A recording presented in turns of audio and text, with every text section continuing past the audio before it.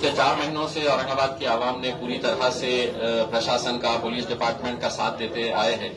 और हमें खुशी है कि प्रशासन और पुलिस ने पिछले चार महीनों के अंदर जिस तरह का काम किया है, आज औरंगाबाद धीरे धीरे अपनी पटरी के ऊपर लौट रहा है। आने वाला महीना, जैसा सीपी साहब ने बताया है कि बहुत सारे त्यौहार है।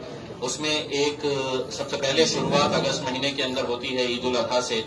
उसके बाद श्रावण का महीना त्योहार आता है फिर उसके बाद गणपति का जो हिंदू भाइयों के लिए बहुत बड़ा त्योहार है वो आ रहा है। मुहर्रम हमारे शिया भाइयों के लिए बहुत बड़ा त्योहार है।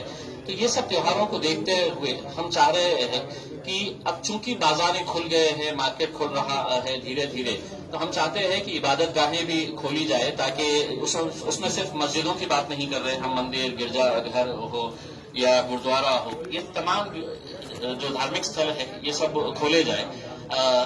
इस ईद के ताल्लुक से हमने एक मीटिंग लिए थे मौलाना लोगों के साथ, उलमाओं के साथ, और उस मीटिंग के अंदर ये तय हुआ था कि कुछ जो गाइडलाइन सरकार की तरफ़ से आई है, वो गाइडलाइंस के ऊपर चर्चा करने के लिए कि क्या सरकार के गाइडलाइंस ये दीनी एतबार से ये पॉसिबल है क्या फॉलो करना।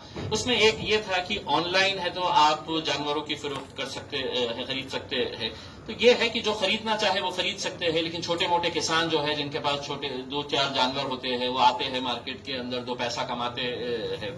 तो वो हर एक के लिए मुमकिन नहीं है। जो खरीदना चाहे तो बिल्कुल वो खरीद सकते हैं ऑनलाइन लेकिन जो नहीं खरीद सकते हैं, उनके लिए अगर हम शहर के अंदर छह आठ जगह के ऊपर बड़े जो मैदान है, वहाँ पर अगर हम बड़े मार्केट्स अगर एस्टेब्लिश कर दे, ताकि लोगों के अंदर एक हड़कंप न रहे।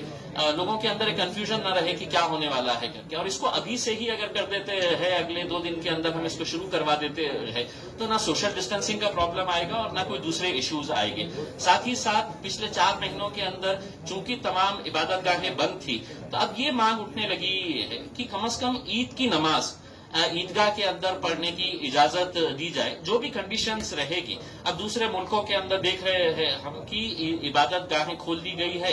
कंडीशंस के साथ किया जा रहा है उसको फॉलो तो वो कंडीशंस को फॉलो करते हुए अब नमाज़ जो है, वो उसको ईदगाह के अंदर पढ़ने की इजाज़त मिले। ये मांग तमाम उलमाए कराम की है। साथ ही साथ गवर्नमेंट ने अपने नोटिफिकेशन के अंदर ये कहा है कि प्रति प्रतीकात्मक तरीके से आप कुर्बानी करें। प्रतीकात्मक मतलब यह है कि आप सोच लीजिएगा कि आपने कुर्बानी कर लिए है करके। तो ऐसा तो मुमकिन नहीं हो सकता है। अब ये किसी न किसी ने तो सरकार से ये सवाल उठाना चाहिए था। लेकिन नहीं उठाए तो आज हम इसके ज़रिए ये उठाना चाहते हैं कि आप हमें एक्सप्लेन करिए कि प्रतीकात्मक कैसा होता है करके। तो ये सब चीज़ें मुद्दे थे, उसके ऊपर चर्चा हुई, पुलिस डिपार्टमेंट ने पूरे तरीके से सुना है, और हमें यकीन है कि पुलिस डिपार्टमेंट जो लोगों की भावना है, उसको सरकार तक पहुंचाकर जिस तरीके से फेस्टिवल्स कई सालों से, कई सदियों से हम लोग मनाते आ रहे हैं, उसी तरह से अब ये दोबारा ज़िंदगी को शुरू की जाए है, यही अपनी